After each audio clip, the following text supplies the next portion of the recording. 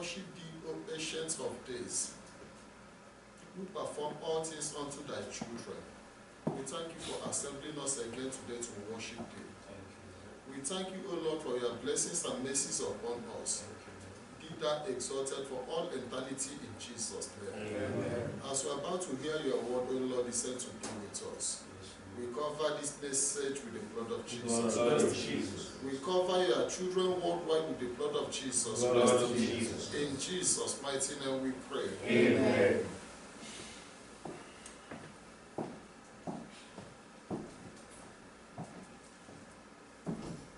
The title of our message today is Seeking God in Prayers. Amen. Amen. The only way to find solution in our life is through prayers. And the only way to communicate with God is through prayers. And that was why Christ cautioned us when he was on earth to watch and continue praying. For we not go into temptation. Praise the God Amen. There is a right time for prayers. But so many believers has omitted that right time for prayers. We don't start praying when we have went into problems. That was why Jesus asked us to pray and watch, for we not to go into temptation. But today we allow ourselves to go into temptation before we start praying.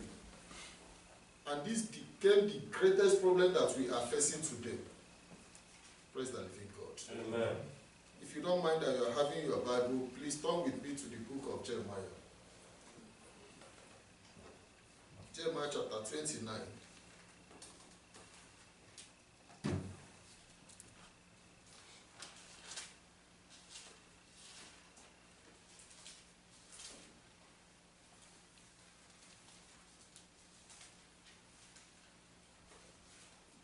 I'm reading from verse 11. And 11 says, For I know the thoughts that I think towards you, said the Lord, thoughts of peace and not of evil, to give you an expected end. Praise the living God. Amen. And when the Most High God was speaking through Jeremiah the prophet, he says he knows his thoughts for his children. The thought of God for us is for peace. His thought for us is for good. His thought for us is for life. The thought of God for I and you is for protection. He says not for evil. To give us a better solution on earth. Praise the living God. Amen. Then more interestingly, I proceed to verse 12. 12 says, Then shall ye call upon me, and ye shall go and pray unto me, and I will hearken unto you. Why prayer is important? He said, Then you must go and pray unto your God. What we have omitted today in Christianity is what God continue commanding that we should come to Him in prayers before we have that solution. As verse 11 says, His thought for us is for blessings, not for evil. But you must surely come to God in prayer. And today we are not praying. I want the church today to come together in prayer to ask God to lead us in this year 2019. I know so many so many leaders of churches may tell you that 2019 will be a year of blessing. But I don't think so. It is a year that we must go to God in prayer for God to bless our own year. I proceed to verse 13. And 13 says, And ye shall seek me and find me, and when ye shall search for me with all your heart. The Lord says we must search for Him with all our hearts before we can find God. Before we can find solution in whatsoever we are passing through. We must search for that God with all our hearts. Remember that this message of Jeremiah chapter 29 is like the message of this crossover of 2019. When Jeremiah was the only prophet saying something different. Before the children of Israel went into that captivity of 70 years, Jeremiah prophesied of that captivity. And he says that there is no power that can change it. But the rest of the prophets, they prophesied that they will not go into that captivity. When we see evil for the year, the only thing that can save us from that evil is prayer, is God. Going to your maker in prayers. The wretched condition and life that we are living is not the will of God for I and you. But because we refuse to go into prayers, when you are in a wicked world, the book of Ephesians, in chapter 6, verse 12, St. Paul says, We battle against the wickedness in higher places in this world. This is the problem that most people are facing. The backwardness that we are facing is not the will of God. According to Jeremiah 29, the sickness, epidemic, and death that we are suffering from today is not the will of God. The failure and disappointments in our lives is not the will of God. It is being promoted spiritually and being invoked into our lives. And that was why St. Paul cautioned us. Properly, he says, We wrestle not against flesh and blood, but against powers, principalities, wickedness in the higher levels and in the lower levels. This is why you need to go to God in prayer. Praise that thing, God. Amen. But the book of Jeremiah is cautioning us that we must surely come to God in prayers with all our hearts and seek for that God for solution. Solution comes from the hands of God. Praise that be God. Amen. Now let us still turn back to the book of Mark to see the right time for prayers. We have right time for prayers. Mark chapter 14.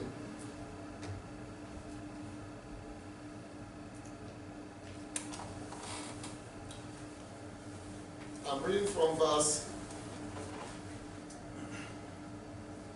33. And 33 says, And he taketh with him Peter and James and John, and began to be so amazed and to be very heavy. Praise the living God. Amen. There is right prayer time for prayers. You don't allow yourself to go into problem before you start praying. You don't allow yourself to go into failure before you start praying. When Jesus knew that the hour is coming, and the hour is soon, that they shall deliver him into the hands of this world, he became worried. Verse 33 says, He became worried. The hour is not yet there, but in preparation against that hour. When evil is coming upon the earth, upon your ways, and God gives reflection to you. Why reflection is important is this. Any nation without prophets, they perish. Any churches without prophets, they do perish.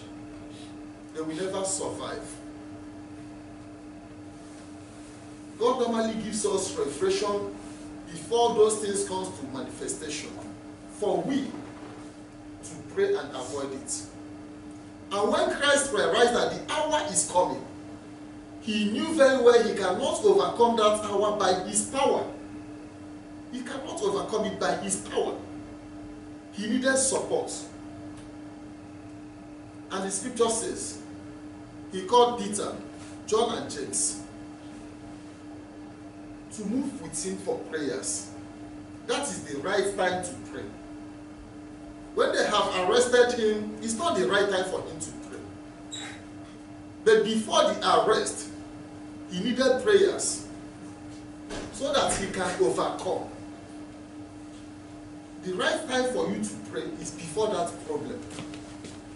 You don't start praying when you have went into problem. It is not done.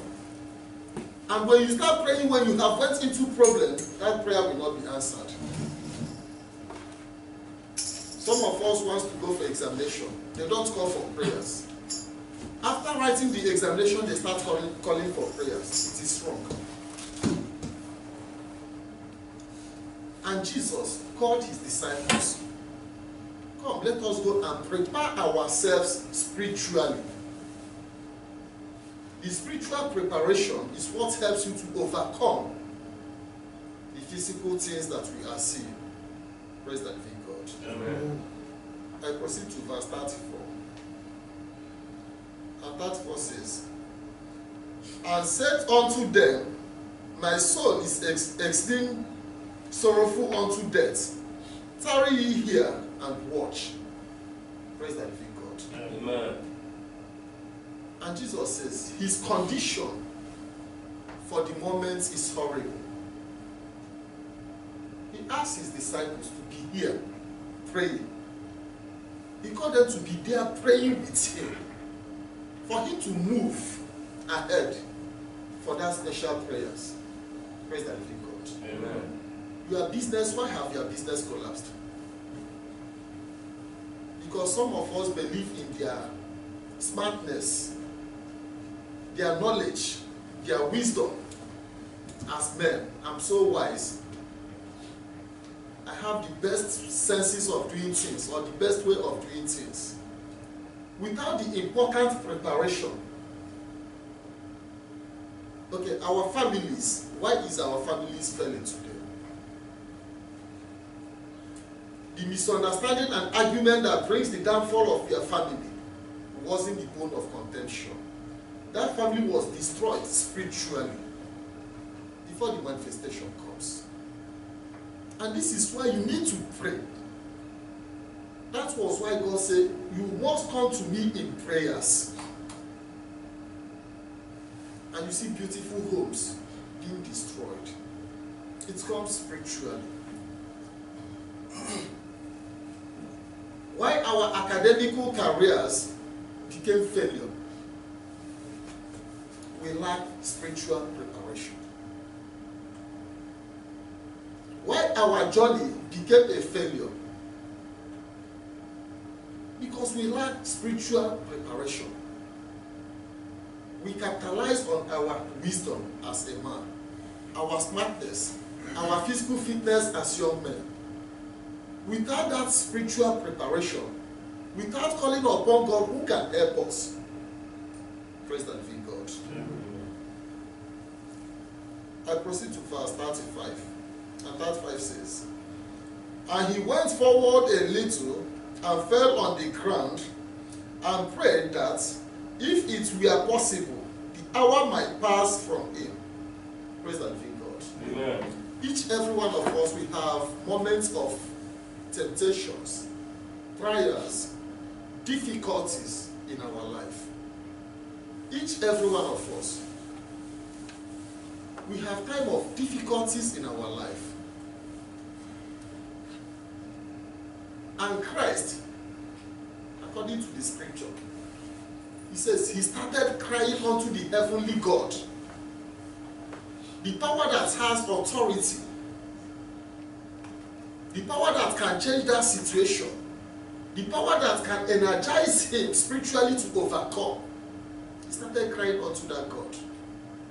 This is why I'm encouraging the churches depend upon God. Cry unto your maker who has made you. Search for your maker. Where you are is not by mistake. You didn't just appear on earth by mistake. You are being made by someone. And who has made us, has encouraged us from different prophets in the scripture to come back to him in prayers. But we refuse we should, that we will not pray. Rather, we believe in our physical fitness. Praise the living God. Amen. And verse 36 says, And he said, Abba, Father, all things are possible unto thee. Take away this cup from me. Nevertheless, not what I will, but what thou wilt. Praise the living God. Amen. There is hour of temptation that can never be taken away from you. God has mandated that this thing must come across my way as I live on earth. That hour of temptation and trials and difficulties, God have mandated it that it must come. What we need is the help of God. And when Christ realized that this was why he came on earth, he said in the first place, Heavenly Father, if it is possible, take away this hour of difficulties. Take away this hour of temptations and trials and tears. That was what Christ prayed for. But when he realized that that was why he came on earth, he said, Father, let thy will be done, not as I will.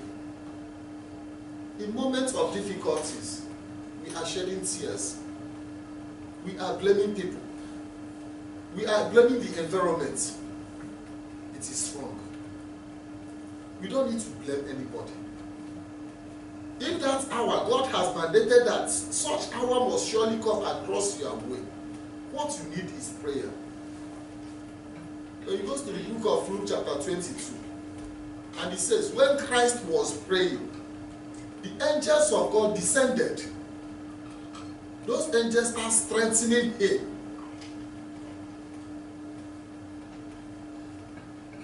And in the second section of this uh, story, when Jesus asked Peter to pray, the hour is coming, the hour of temptation.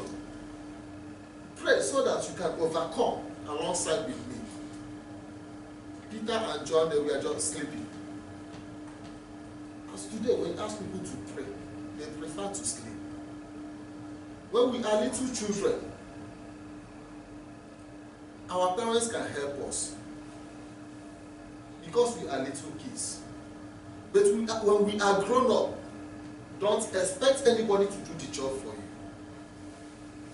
Peter was there sleeping. John was there sleeping. James was there sleeping. And as I come to acknowledge, Peter is somebody who is physically fit. He believed in, the, in, in his fitness as a young man. But when the hour came, he denied Christ because of lack of that preparation. This is why some of your business are being destroyed. When you believe you have the influence in the business, you have links, you refuse to pray unto God who will protect and guide that business. And when that hour of temptation comes, your business will collapse. Our families collapse because we neglected that hour of prayers when we could not pray over our family. Jabez prayed unto the living God. He said, God bless me first place. In the second place, enlarging me, O Lord. In the third place, protect those blessings. If God have blessed you with a family, without the protection of God in that family, the family may break down. If God have blessed you as a successful businessman, without the protection of God in that business, without constant prayers, that business will break down. If you are a professional sportsman, without that prayers and protection from God, you end up so bad. This is why it is important for churches to come unto God in prayers. If the churches refuse to go to God in prayers, individually let us go to god in prayers individually locate your maker who knows your problem whose solution comes from his holy hands. Praise the living God. Amen. If you don't mind that you are still having your Bible, please turn with me to the book of Matthew to see the encouragement of our Master Jesus Christ. Matthew chapter 7.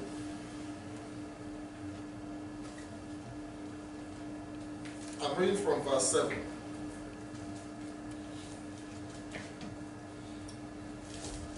He says ask and it shall be and it shall be given you.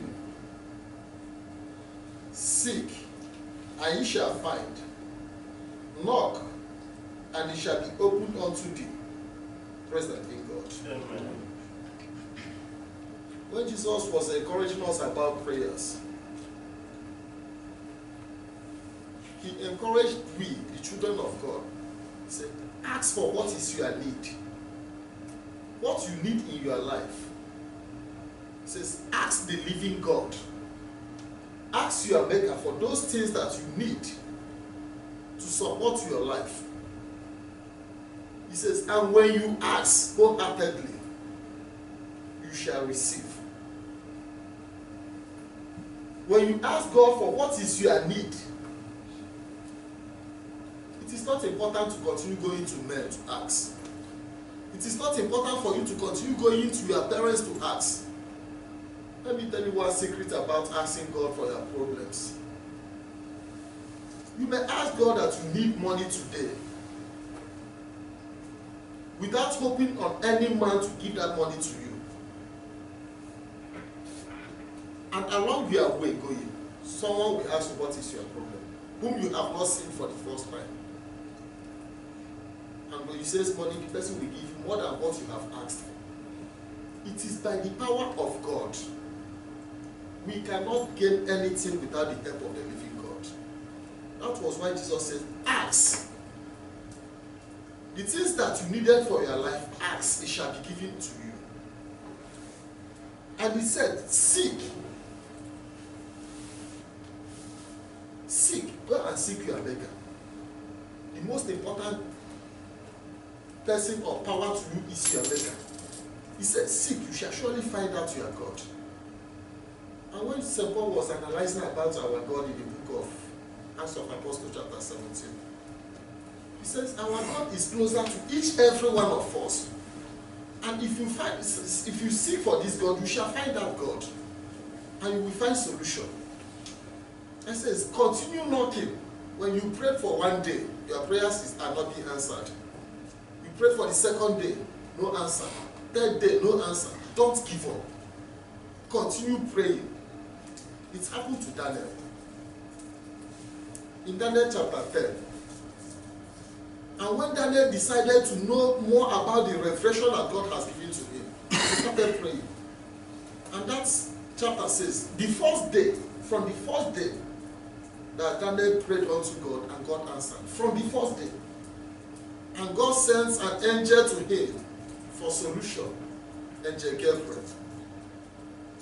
But the prince the demon of that land the prince of persia intercepted that angel for twenty days. Daniel keep praying. He prayed for one day his prayer was answered. But because there was no manifestation he continued praying for more twenty days making it twenty-one days before god could send angel michael to help him over that issue. It is applicable to i and you. When we pray for a month if there if there is no solution if there is no answer continue praying. That was why christ said, keep knocking. Knock it shall be opened for you. You can get your solution from god. We cannot get solution from any power or from any man praise the living god Amen. and verse 8 says, For everyone that asketh receiveth, and he that seeketh findeth, and to him that knock it shall be opened. The assurance that Jesus was giving to believers is this nobody that comes to God that will go back is saved. If you come to God wholeheartedly, if you go to God wholeheartedly,